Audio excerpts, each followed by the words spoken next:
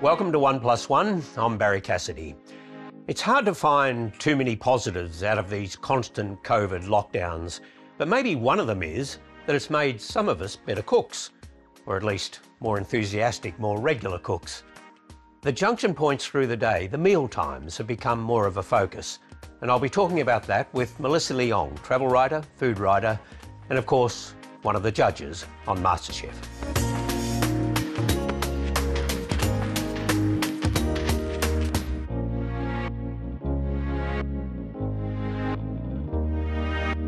This lady travels the world looking for the next big thing in food. One of Australia's hottest food writers and critics, Melissa Leong.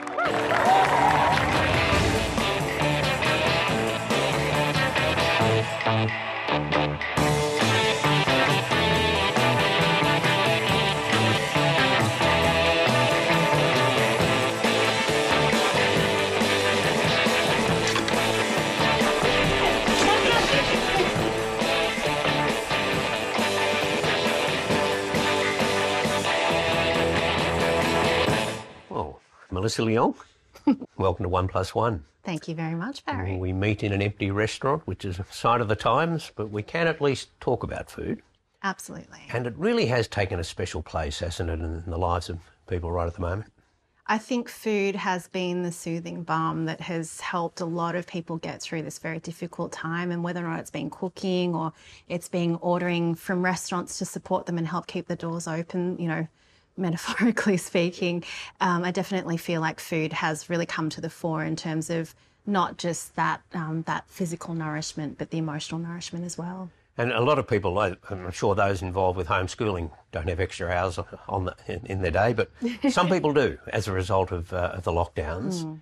And anecdotally, do you know that, that people are actually spending more time preparing meals, perhaps putting more ingredients into their food? Oh, absolutely. I mean, you only need to look to social media to see how pe- how people have become obsessed with certain types of food, whether or not that's baking. I think the great sourdough craze of 2020 was a huge thing. Everybody was baking bread for the first time, um, or for the first time in a long time, and um, it's been fun. You know, like you said, there's been that extra bit of time to be able to, um, you know, investigate maybe recipes that we've earmarked for later when we have enough um, you know, sort of time to spend working on things or, um, you know, just giving something a go just to keep the kids, you know, inspired and interested and uh, involved. And I think MasterChef initially got a lot of a, new generation of people interested in cooking in unprecedented ways, and then COVID came along, and I think it's had a similar effect in a way. Is, is it that people kind of look at these programs and they think, "I've got potential,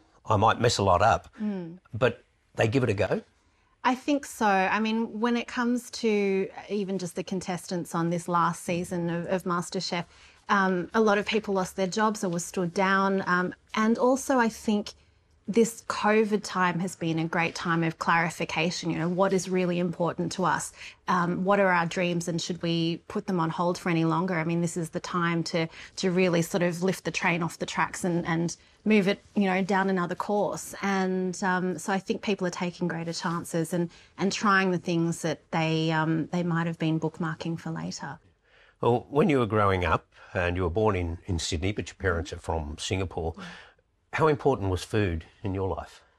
Well, I like to say food is our love language. You know, we express care for each other through eating together, through cooking together, through, you know, going out and choosing a restaurant to go to together. And so food has always played such a huge part in my life. Um, you know, my parents being from Singapore, it's a really tiny place and, um, and you eat and you shop. And I think those are sort of the two, um, the two great pastimes of Singapore in many ways and um, and so my parents definitely translated that love of food to us, and we've always loved eating. And then later on, as we got a little bit older, learning how to cook and, and help mum in the kitchen as well. So they obviously brought the, the food culture with them. Is that something that they were jealously guarded that they didn't, they really didn't want to adopt whatever it is that Australia has to offer? Absolutely not. Absolutely not. I think that um, it's just a general love of food, not particular cuisines per se, but I think my parents just really love food in general, and, and they certainly were interested in us getting to know, you know, what Australia is like and what all of these you know these dishes and these you know these meals were that they they weren't particularly familiar with and um, my, I think my mum was, you know, very entertained by what we would come home from school and say, oh, you know, so and so's mum cooked roast chicken. And she'd be like okay well she'll and then she would go and look up a recipe in the australian women's weekly or watch Peter Russell-Clarke or something like that and find a way to um, replicate whatever dish it was that we were describing. And um, and it was a really wonderful time for her i think to discover you know new new dishes and new cuisines and um, yeah, my parents are very keen on us getting to know Australia really well. Every summer holiday, we would, you know, get in the car and go on a road trip somewhere new and, and go to some someplace historical or someplace that was really on the map that we we should know about. And um, you know, they really embrace being here, and they they have always done.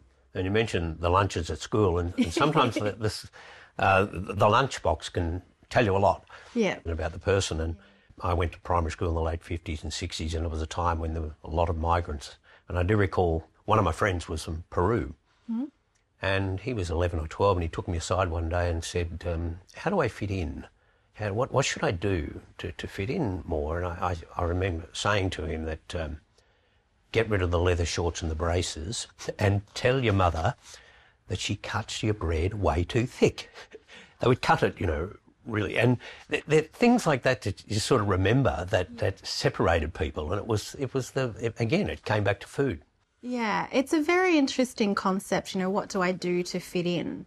And it's something that I, you know, grapple with because as a kid, any kid in the world wants to fit in with wherever they are. And that comes down to the way that they present themselves and, and I guess a, a uniformity of, of whatever it is, whether or not that's the, your lunchbox or the way you comb your hair or cut your hair or something like that. Um, and I realize now, though, that the way I didn't fit in was what has really formed me and who I am today, you know, in, in terms of being okay with um, with being in, being an individual, being able to stand out and stand on my own two feet and be proud of who I am.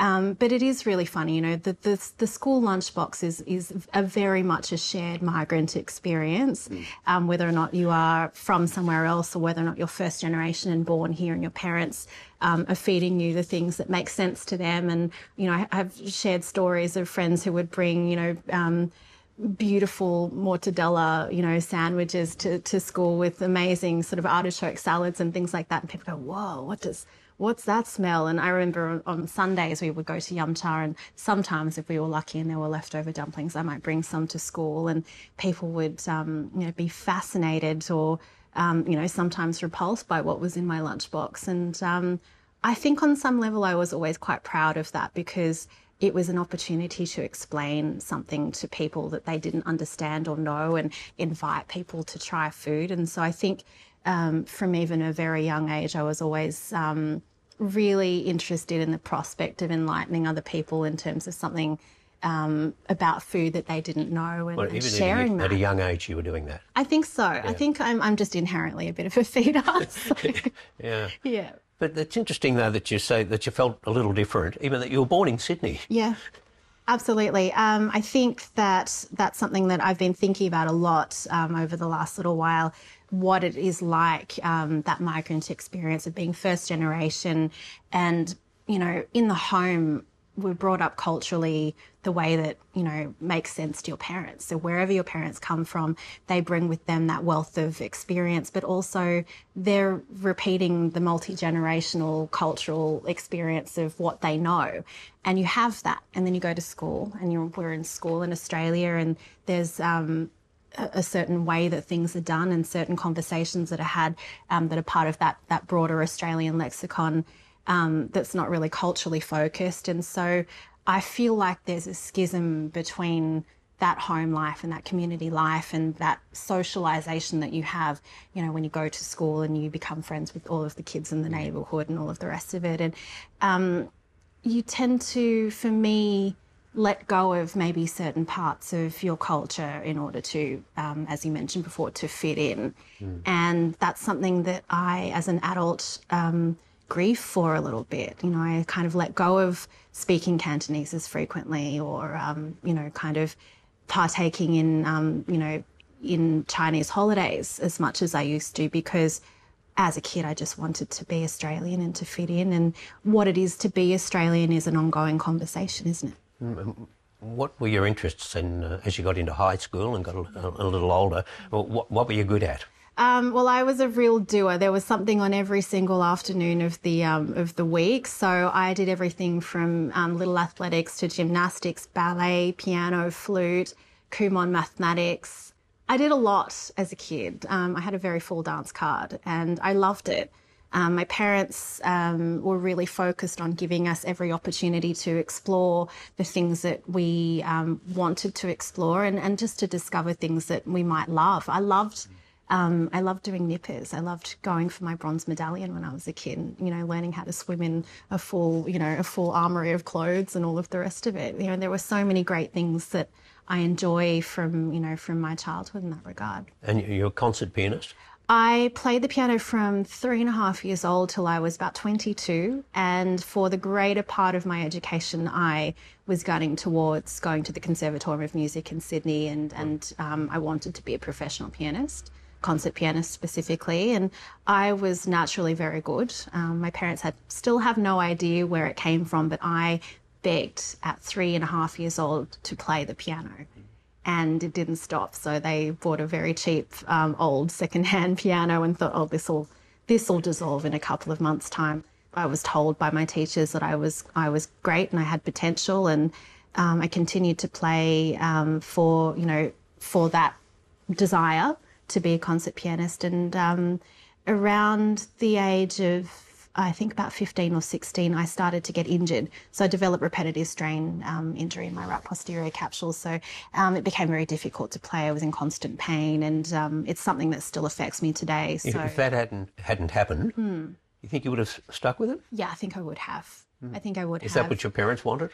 my parents just wanted me to be happy. They still want me to be happy, whatever that means. So they were quite um, maverick in that regard. There was no, I mean, I'm sure my parents would have loved me to be a lawyer, or a doctor, or an accountant, or something like that, something that was safe. Um, ultimately, when it boiled down to it, they just want me to be happy. And I think that that was something that I, I was very grateful for because I have led a very piecemeal life. I've I've not um, had a lot of strategy in terms of you know where I've ended up now and how um, how I've collected what I know along the way. But um, they trusted that I would be okay in the end um, with what I was equipped with. So, so how did you drift into, if that's the right term, drift into into food writing? I think you could say drift. That would be very yeah. fair.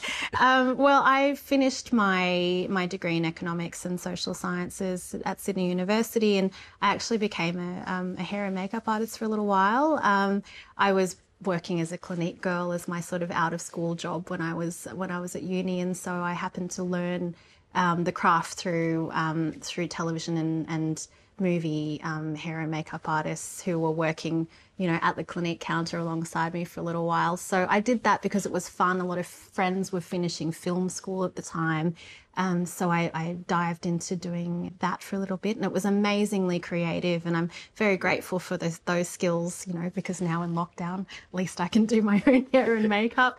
Um, but I moved into advertising from there, and it was at the dawn of social media. It was at a time when, um, you know, we didn't know what a blog was, and Twitter was barely being used in Australia. Uh, and um, I think MySpace was around, and Facebook certainly hadn't been invented yet. So mm. it was at that very early time in social media where we were still trying to feel it out, and we were encouraged, um, you know, in, in our ad agency to um, adopt every platform that we possibly could and, and embed ourselves in a community to really understand how to leverage that conversation for brands. And I chose food because I thought, oh, well, I don't have to spend too much time, you know, kind of researching food because I felt at the time um, that I knew enough about food that I could kind of fake my way into that space. And as I found myself in that space talking about food, I realized how much I loved talking about food. And you and thought you were faking your way. I thought. Well, I think I, I, think I will always have some small degree of imposter complex, and I know that that's something that a lot of people say. But gen- genuinely, I think when when you live a piecemeal existence, you're learning as you're going. So there is that sort of element of I'll know when I know what I know, if you if you like. Yeah. So I got to know people through food in that way. I learned to to write about food um, in a way that made sense to me. And for me, I never thought of myself as a writer. I always thought of myself as deeply wanting to be understood. And so I focused on learning to communicate effectively, and whether or not that was uh, verbally or if that was in the written context.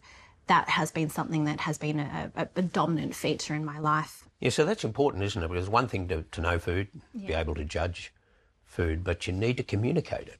Absolutely. I guess that's where I was very fortunate because as I got to know people uh, and the community of food, you know, through social media, um, someone noticed my writing, and I was an editor from a, a, a street press publication. Sort of asked me to um, to start writing for them, and through that process of getting to know people in the industry, I was mentored by some of the greats in food journalism, and um, I continued to learn how to match food knowledge and build food knowledge with the ability to communicate that effectively um, to, to people that wanted to read what I wrote. And how did that lead to MasterChef? How that's a big question, that's a really, really big question. So I was a freelance writer and critic for a while, um, and then I sort of had a little bit of a uh, a little bit of a trip down um, the PR and marketing route for a little bit. That's where MasterChef comes into it. Actually, is my very first client was Adriano Zumbo. Um, he was a neighbour of mine. We lived in Balmain, um, had the same circle of friends, and MasterChef happened, and he didn't quite know what to do with all of this newfound attention. You know, he would have lines going down the street and around the block for macaron, and it, it was just ridiculous. And so we worked together for a little while, and um, it was the first instance that I understood the impact that this show um, would have on Australia, and that was back in season one. Um, and because of how his career exploded, my career also, you know, continued to be rocketed forward. And so I have MasterChef, um, funnily enough, to um, to credit for, you know, my, the last sort of decade or more of being in the industry prior to um, to being on MasterChef itself. Can you believe it? This is your last mystery box of the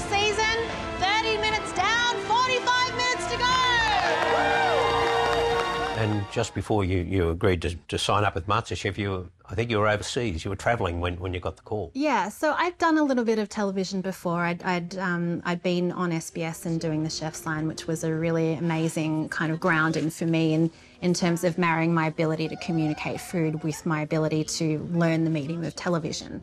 And I'll always be grateful for that. And um, I am also really grateful for, you know, being gifted assignments to, to write about food overseas. I've traveled the world to write about food and that privilege is never lost on me. But I was, I had just arrived in Vietnam and there was a whole debacle because there was a typo in, on my visa about when I was born. So it, um, I was queuing and trying to problem solve and all of that kind of thing. And there's a boat waiting for me to to sail uh, down the Mekong to um, to Cambodia. So all the while, while that was all happening, all of that drama of will I make the boat, um, I was receiving messages from um, from Endemol Shine saying, "Hey, um, so MasterChef do you want to come and have a chat? And i was like i, I just don't have time for this. And um, i wasn't sure what they wanted. And, and by the time i had arrived back from cambodia and vietnam about two or three weeks later i sat down with them and um, we started a conversation and it wasn't as immediate as you would think. I did not say yes right away so. You were not immediately excited about it? I not that i wasn't excited about being thought of in that regard. I just had seen this tremendous, you know, contribution that MasterChef had made to the Australian, um, you know, food culture and to popular culture in general. And as a journalist, I'm, I'm taught to be skeptical. I'm taught to ask those questions and and not to just sort of take things at face value. And yes, it's a big shiny opportunity, but it's all it also comes loaded with expectation and, and uncertainty and and also loss of privacy as well. And so knowing that those are all potential things that might happen to my life, it really took a long time for me to consolidate um, this wonderful opportunity and this potential dream job with how my life might change. And it had been such a successful program too. There'd be some anxiety over that, wouldn't there? That the, Oddly, that was the only part that um, that didn't cause me any any anxiety. And a lot of people said, "Well, wow, you know, those are huge shoes to fill." And um, I look down at my fabulous shoes, and I think, "Well, these are the only shoes I want to wear." You know, and so there's been very much a, a narrative in my life where I just want to be the best version of myself. I don't believe in emulating other people or trying to be someone else. I just want to be the best version of me that I can bring to every instance. And so I thought, well, I can't be um, these these wonderful former judges. I can't be any of them, but I can be me.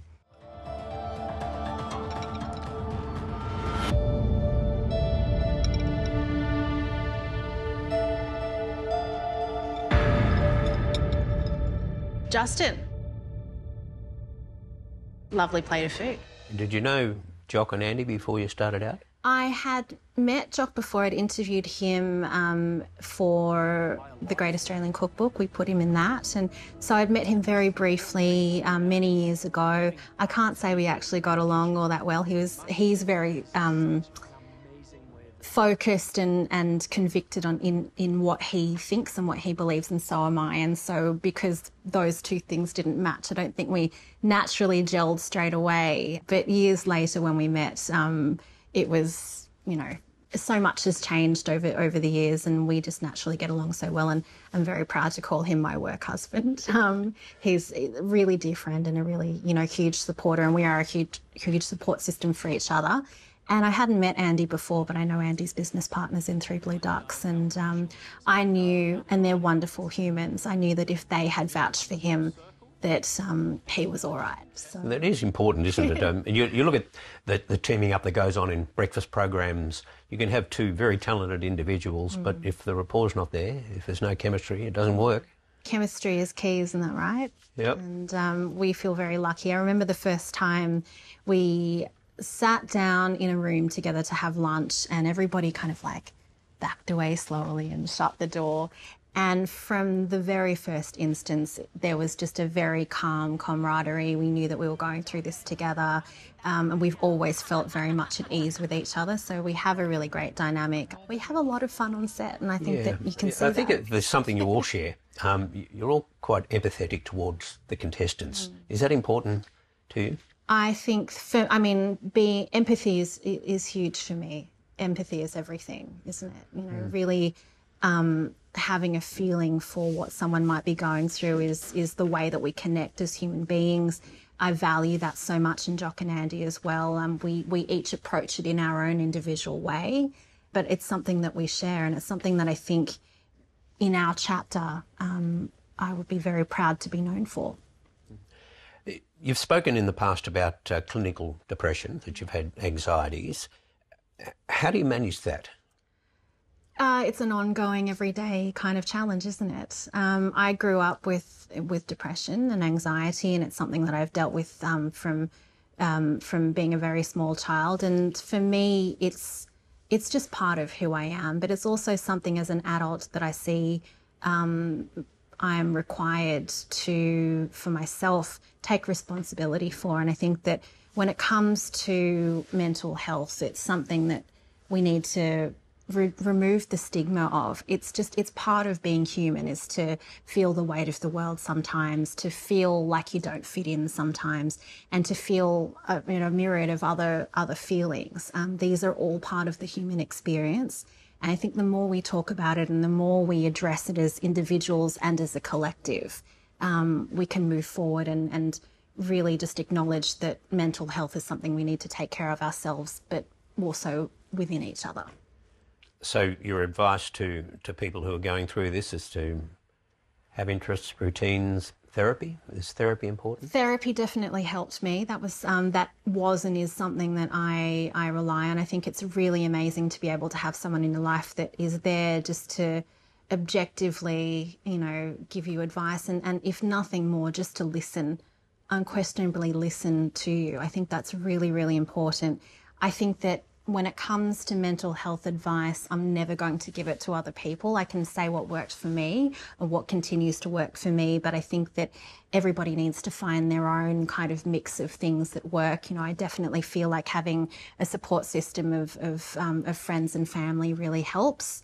Um, and and definitely, you know, going and going and seeking professional help is a great way to sort of show you what the options are, and then you can decide for yourself what works. Do you have anxious moments on the set at all?